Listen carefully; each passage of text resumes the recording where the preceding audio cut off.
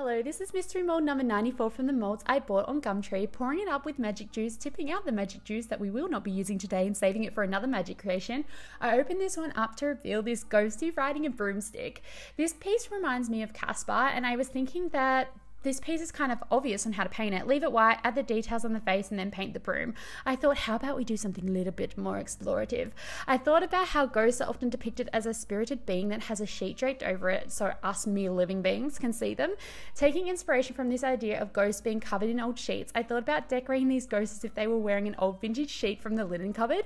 You know those ones that you kept from the 90s that you know have too much sentimental value to throw out, but you keep them anyway because they're just so special. So I did some 90s nostalgia sheet prints on these ghosts as if they're wearing your favorite sheets. Do you have a favorite bed setting that you remember from your childhood? Anyway, I'm not the biggest fan of this piece, but I love how the patterns turned out after the firing.